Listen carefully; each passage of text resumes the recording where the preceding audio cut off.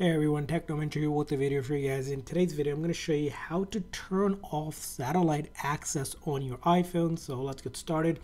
Now, this is a feature that is available on iPhone 14 or newer. So if you don't have a 14 or newer iPhone, you won't have this feature.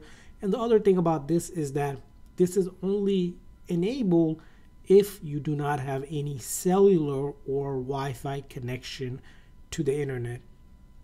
Now in order to disable it, all you do is pull down that control menu here and then long press and hold this icon for the cellular and all the network connectivity.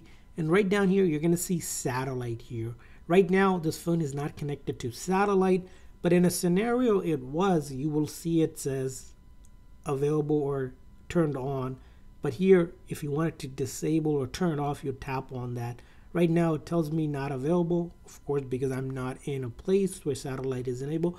But in a scenario you do see it. You'll also see this icon at the very top here indicating that the satellite is on. So right now you can tell that there's no satellite connection. But if there was, again, long press and hold between all these icons to get to this menu to turn off your satellite access on your iPhone.